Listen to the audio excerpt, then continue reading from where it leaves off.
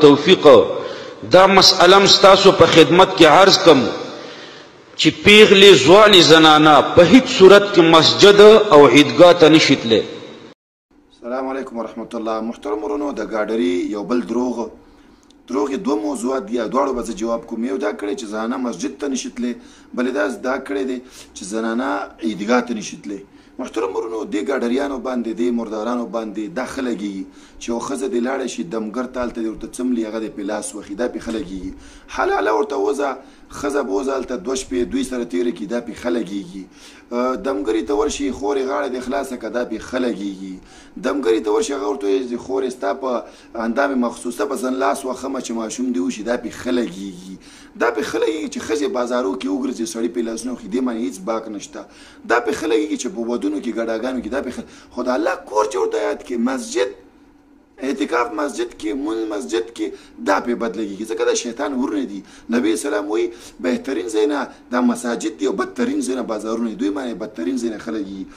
نبی رسول الله صحیح حدیث دغه مسلم کې نقل له محترم نبی رسول الله تاسو خزي ممنه کوي د مسجدونو او بيوت کورونه د غوي لپاره بهترین دي چلته منځونه وکړي کور ته غوره دی ابن عمر دا حدیث خپل زوی ته بیان کاغه ولې زه خو به منې کوم د څه په دې دی ورته ویلي چې هغه وایي که صحابي وایي چې عمر کې سره بیا خبرې ونه کړلې عمر لنو به ویل چې دا خځې مسجد ته لاړ نشي چا ورته چې منې کې ولې نه هغه ویل چې زه ځکه نه منې کوم چې نبی علیه السلام دا نه دي منې کړي دا عمر لنو دی جل قدر صحابي محترم ورنو هغه دا نه منې کوي اختر مانځه کې محترم ورونو صحیح حدیث دی په بخاری کې نس دی ابن عباس وای چې نبی رسول الله سره منګه په اختر مانځه کې دا شو خطبه وکړه ثم النساء فوعد زانو تراغه هو ته وعد او نصيحت کو او دا ورته چې الله نه ويریږي او ومرهن بصدقه او دا امر ورته کو چې صدقه وکړي صحیح حدیث دی بخاری کې نقل له محترم ورونو چې نبی علیہ السلام څه وکړو بل ځانو ته ورغه هغه ته بیان وکړو صحیح حدیث کې نقل له محترم ورونو امام بخاری رحم الله په دې معنی باب می خیره چې زنانه دی چې هغه عیدګاه ته وځي حتی کې هیڅ حالت کې می د دې وځي دي کې څه شرعاً څه معنات نشته امام بخاری رحم الله په باغ به چې باب شهود الحائض العیدین ودعوه المسلمین او کوم ځان چې هیڅ ورته لګیدلی هغه لګلری ودیږي هم د حدیث نقل کړي دی دغه عیدین مبارکي د حفصه رضی الله عنها وایي چې موږ ته نبی له سلام دا امر کړی او چې تاسو وځي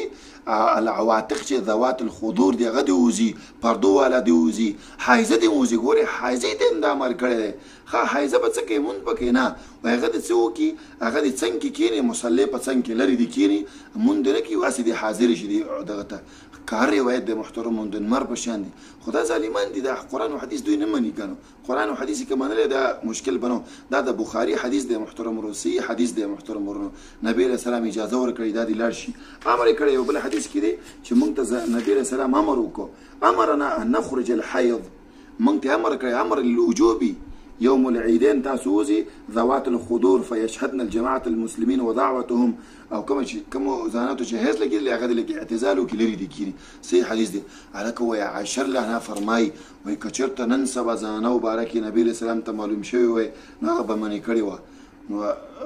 نبی له سلام ته معلوم نو الله سبحانه وتعالى ته معلوم رب العالمین ته معلوم هغه ورته ویل چې ګوره اے نبی زما د څه وخت برازي چې ګوره ځانو کې به فتنې لري تاسو د ځانو ته اجازه ورنکې دا د جاهلانانو خبری لکه دا مقلدین چې نقل کوي بل عائشه الله نه خود شي نه فرمایلی چې زه